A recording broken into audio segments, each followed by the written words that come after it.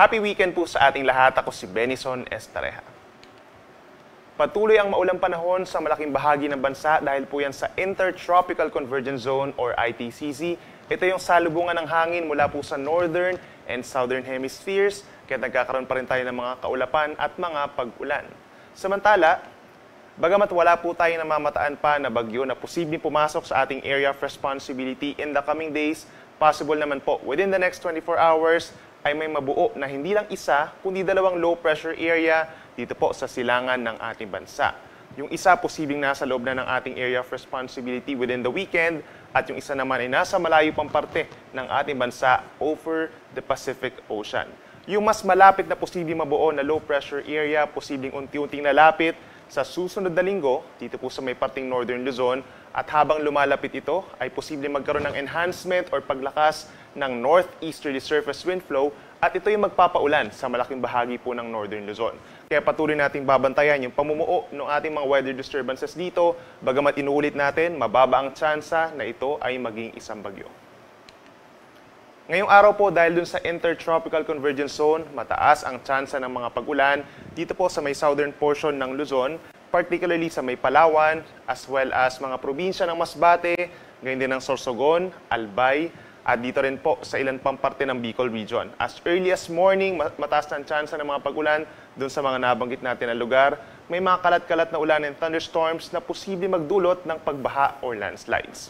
As early as this morning, for the rest of Luzon, itong Mindoro provinces, Marinduque and Romblon, rest of Bicol Region, and even Quezon Province, may mga pag-ulan na. Dulot po yan ng localized thunderstorms plus the intertropical convergence zone na rin. Habang dito sa natitirang bahagi ng Luzon, umaga hanggang tanghali, generally magiging maganda naman ang panahon sa maraming lugar, bahagyang maulap, minsan maaraw pa.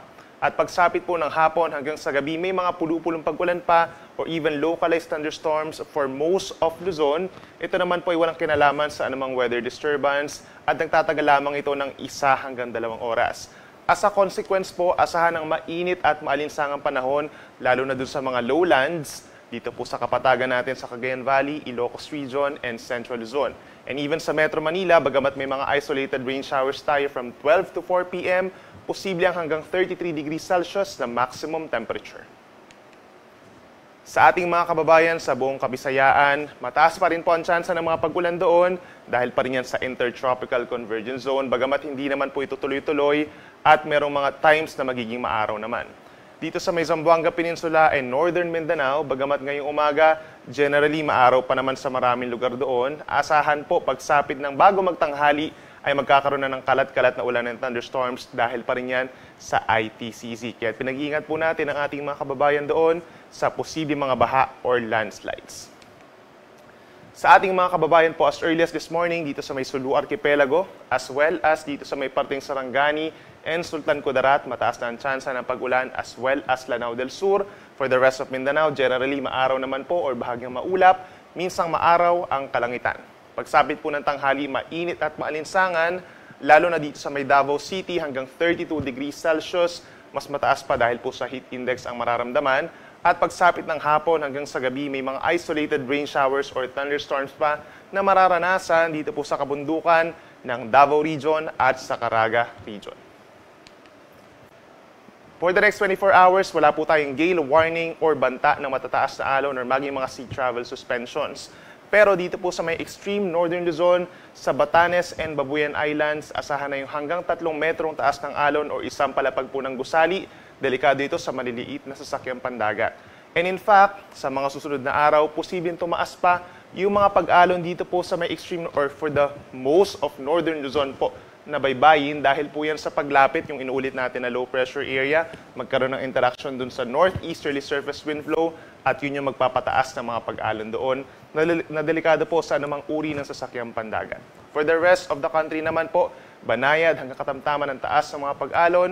Kapag meron tayong mga thunderstorm, hanggang dalawang metron taas po ang posible. Sa Metro Manila, asahan pa rin yung similar weather conditions Sunday hanggang Tuesday. So mainam pa rin po na maglabas sa umaga. Bagamat pagsapit ng tanghali, mainit at malinsangan. So stay hydrated po hanggang 33 degrees Celsius.